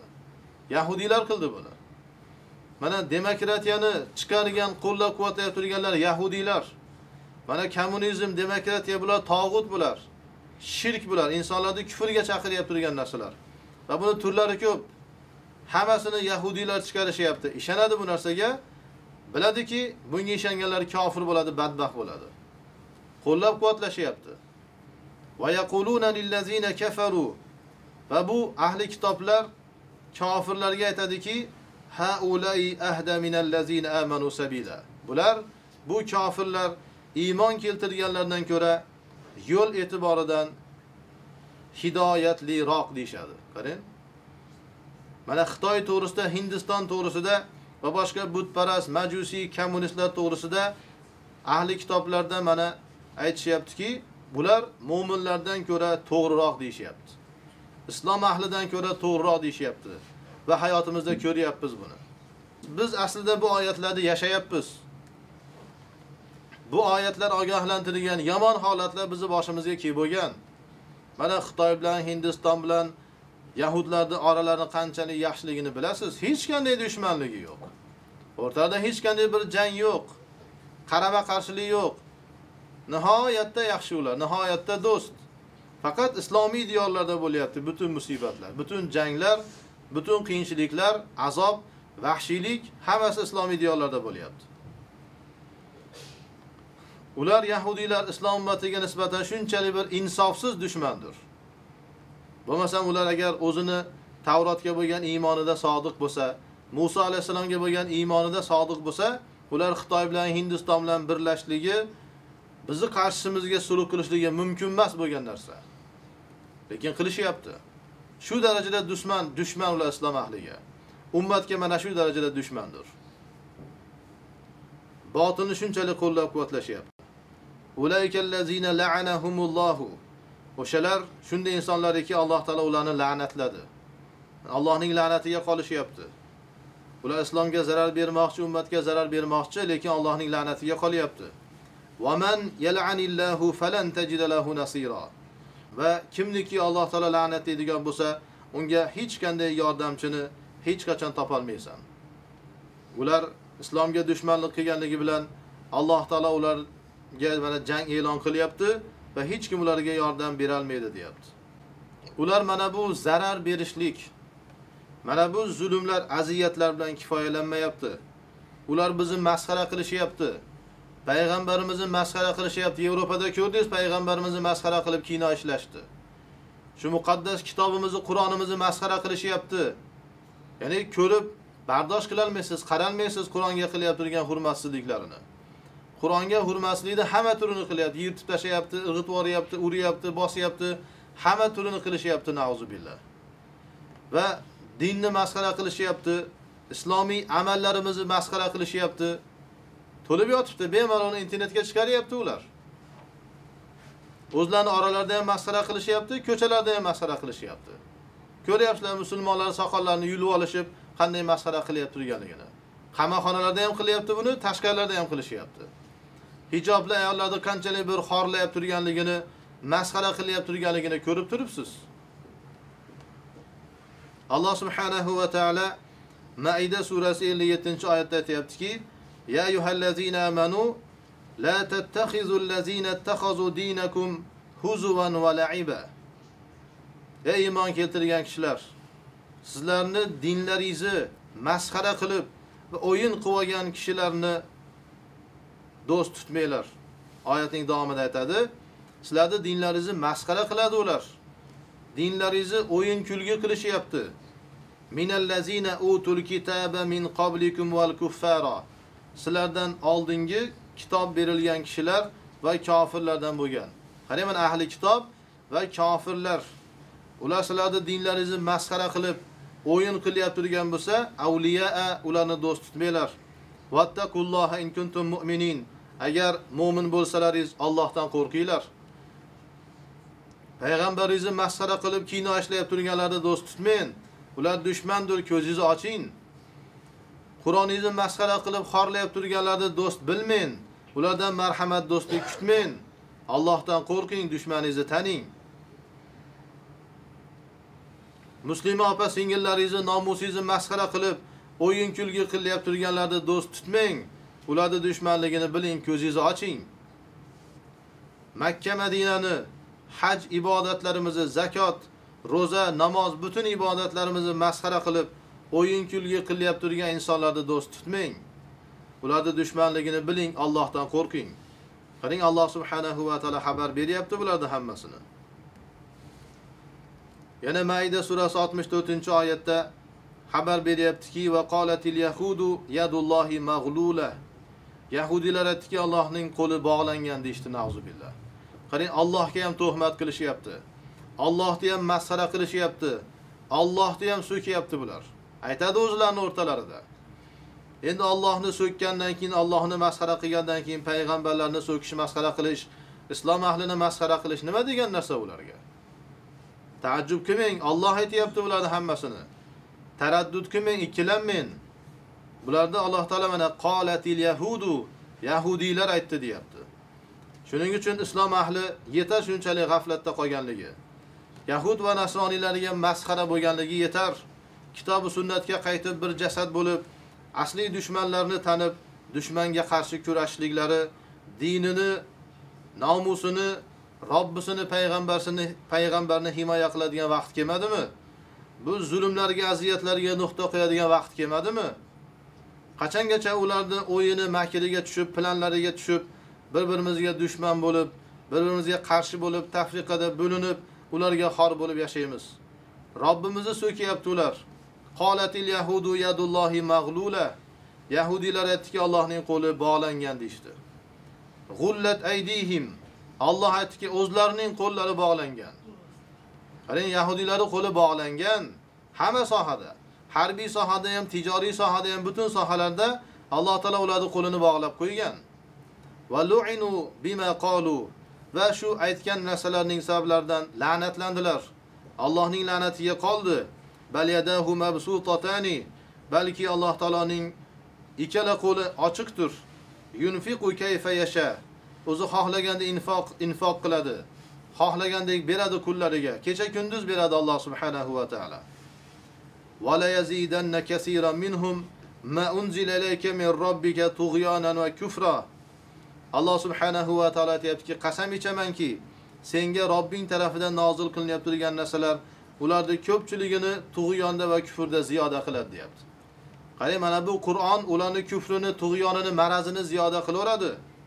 Valqoyna baynahumul adavata val bag'doa ila yawmil qiyama alloh taolo aytyaptiki biz ularni o'rtasiga shu yahud nasroniylar xususan yahudiylarni o'rtasiga qiyomatgacha dushmanlik va bug'uz nafrat tashlab qo'ydik.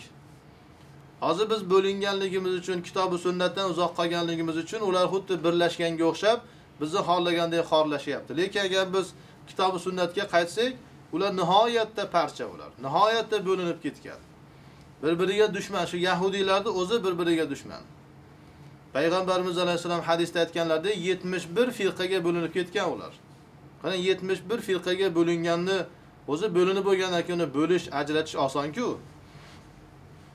Qiyomatgacha alloh taolo ularni shunday qilib qo'ygan. Kullama awqadu naron lil harbi atfa'aha Allohu. Ular islomga qarshi jang qilib har bir o't yoqqanlarida bir fitna qilganlarida alloh subhanahu va taolo ularning fitnalarini o'chiradi. Doim ular islom tarixiga qarasangiz butun dunyodan islomni yo'qotishlik uchun musulmonlarni yo'qotishlik uchun juda katta fitnalar qilishdi olamiy janglar qilishdi. Lekin ularni butun janglarni o'tlarini alloh taolo o'chirdi. Va qiyomatgacha davom etaveradi. Mana hozir butun islom olamiga urush e'lon qilgan jang e'lon qilgan. Butun islom olamida zulm aziyatini davom ettirishyapti har qanday vahshiylik qilyaptiku lekin ularni butun bu o'tlarini butun fitnalarni alloh taolo o'chiraveradi. Va yas'auna fil ardi fasada va yer yuzida fasod qilib harakat qilishadi ular. Yuqorida aytgan tafsirlarimiz ya'ni hammasini o'ylang. E'tiqodda ibodatda muomalatda tijoratda bu mediada gazetada jurnalda butun sohalarda hayo e'tiboridan ta'lim tarbiya hammasida fasod qilishaveradi. Maktablar universitetlar texnikumlar hammasida kufr shirk hayosiz narsalarni o'rgatishyapti. Hamma taraflama islomni buzishga harakat qilishyapti.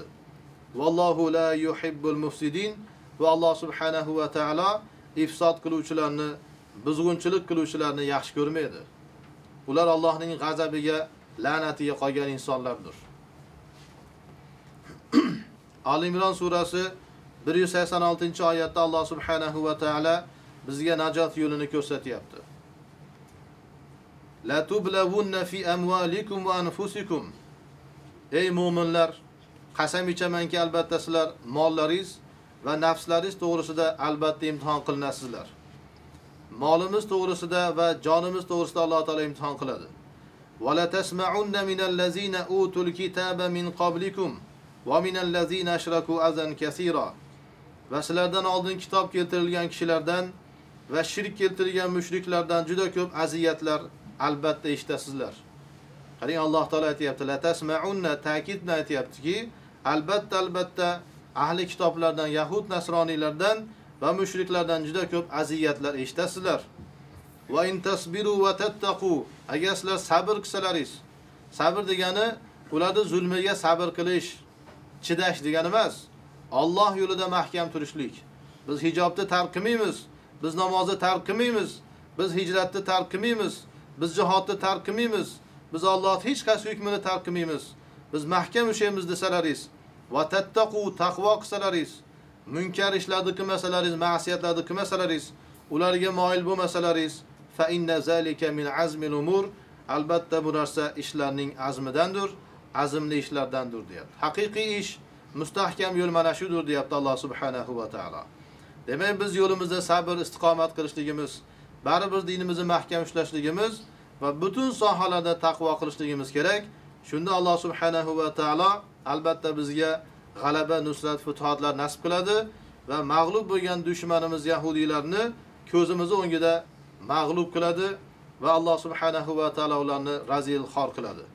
Alloh subhanahu va taolo butun dunyoda butun mo'min mo'minalarni aziz qilsin islomni hokim qilsin yahudlar va butun kofirlarning butun o'yinlari fitnalari butun jangu jadallari makr hiylalarini alloh taolo botil qilsin alloh subhanahu va taolo butun insoniyatga hidoyat nasib qilsin hidoyat qabul qilmasa din dushmanlarini alloh taolo yo'q qilsin نور العين تناديني فدعيني أماه دعيني لتبكي دموعك يا أمي عن دربي لا لن تثنيني أماه طريقي قد وضحى فرحان